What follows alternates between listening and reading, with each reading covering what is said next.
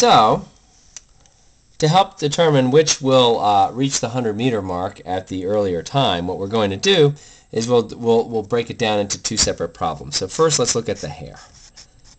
Now the hare, no, the hare is hard. Let's start with the tortoise.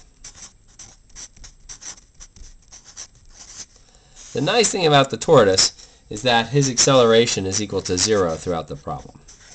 So this is a constant velocity problem. And what we know is the initial position was at 99 meters. The uh, velocity, the initial velocity, which is all of the different velocities, uh, was equal to 0.05 meters per second. And the acceleration was equal, oh, I already said that, that the acceleration was equal to zero. So we want to know simply at what time does the hare reach the 100 meter mark. So this clearly then, to solve this problem, we're looking for something that relates the final position, which is something that we know, to the initial position and the time, because time is the variable, the unknown that we're trying to solve for. And uh, there is a nice constant acceleration formula that relates positions and time. And let me write it out for you it's equal to v initial times the time plus 1 half times the acceleration times the time squared. And this is one of those three uh, magic formulas that I told you that are, are worth memorizing. Now, I like to write it out this way, just dumping out that formula because I know that's the right formula and now I want to think about whether or not I'm going to be able to solve this thing. Well, if we look at it, what I uh, like to do is just to circle the unknowns. So the final position, we know that, right? The final position, I didn't write it down, but the final position is when the hare reaches the 100 meter mark. So let me write x final equals 100 meters. So that is not an unknown. The initial position, nope, that's not an unknown, right? That's at 99 meters. The initial velocity is known to us. So um, I'm not going to circle that. That's not an unknown. The time t, that's an unknown, right? We don't know what the time is. That's what we're trying to solve for. So let me put a circle on that. Continuing along, um, uh, the acceleration is something that we do know. It happens to be zero, so I could completely ignore this term at this point if I chose to. Also, the time, again, is an unknown, but I've already counted to that as an unknown. I've circled it once. So if I look now, I've got one equation, right? And one unknown, the time. So I should be able to solve this thing algebraically. So the rest now is going to be algebra, substituting in for the knowns and uh, solving. Now, when I substitute in for the known acceleration, which is 0, then this term will go away. And then I'm clearly just looking at the constant velocity formula. But we still should go ahead and solve it. Um, I can solve this for t. Notice if I subtract xi from both sides, I'll get xf minus xi equals vit. And since I want to solve for t, remember t is my unknown here, I can get it as t is xf minus xi over vi. And now if I want to get the numbers, I can just substitute in. x final is 100 meters, x initial is 99 meters. The velocity is 0.05 meters per second. I can compute this. 100 minus 99 is 1 meter on top. I have 1 meter divided by 0.05 meters per second. So the meters are going to cancel in terms of the units.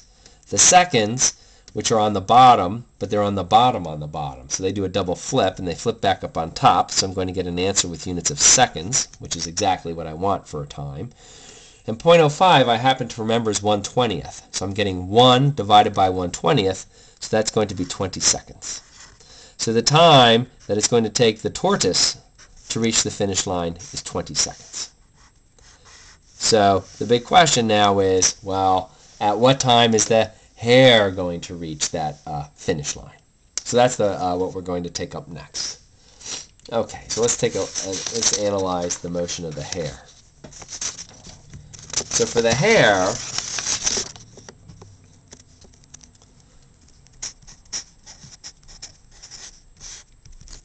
in this case, the acceleration wasn't even constant. It was constant in part of the problem, and then it changed to zero in the second part of the problem. So there's a series of parts to the problem.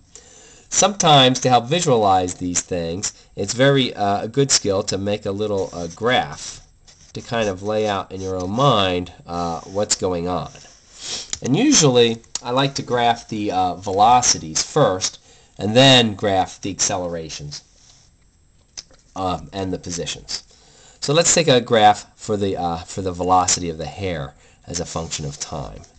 So here's the velocity of the hare as time goes on.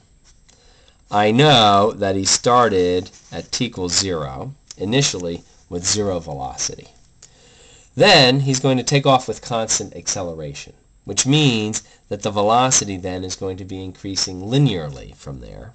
So it increases here, like so, linearly, with a slope. And the slope is the acceleration, is 20 meters per second squared, is that slope. And he's going to do that until he reaches his uh, top speed of uh, 20 meters per second. And at that special point in time, whatever it is, we'll have to solve for it. After it, he doesn't accelerate anymore, and he's just keeping that 20 meters per second until he gets to the 100 meter mark. Now, corresponding to this, um, and an important skill that they ask you about a lot um, in the unit is to be able to sketch graphs of the other related quantities. So we might want be asked to figure out what is the acceleration of the hare as a function of time, given a graph of its velocity. Now remember that the acceleration is the rate of change of the velocity. It is the slope of the velocity graph. So in this range, until we get to that special point in time, there's a certain slope, which was that 20 meters per second squared that we had talked about. So there's going to be um, a slope here of uh, 20 meters per second squared. Right, that's the acceleration. The slope here is always the same. It's a straight line. So acceleration is constant in this interval. Once I cross this point in time, though, the uh, slope of this line is zero, and that means the acceleration then is zero past that point. So it looks like that, just down there at zero. And of course, the other uh, quantity that we're often asked to sketch is the uh, position as a function of time. I didn't quite leave enough room over here, unfortunately, so I'm going to draw a new graph of position down here. And there's still always this special point in time where the uh, rabbit's motion kind of changed from constant acceleration. In the beginning, now to get his position, remember that the slope of the position is equal to the uh, velocity. So now the initial velocity is 0. So the initial slope of the position should be 0. And as time goes on, the velocity is increasing, so I need a slope that's increasing. So the slope should be increasing, increasing, increasing, increasing, increasing, until I get to this point where now the velocity, which is the slope of the position graph, should stay constant. So it should look something like this, a straight line once I get past that special point. And the whole, the whole point, if you will, is that our job is to figure out when the hare reaches the 100 meter mark because that then will be the final time when we reach the 100 meters. That's going to be the time it takes for the hare to finish the race.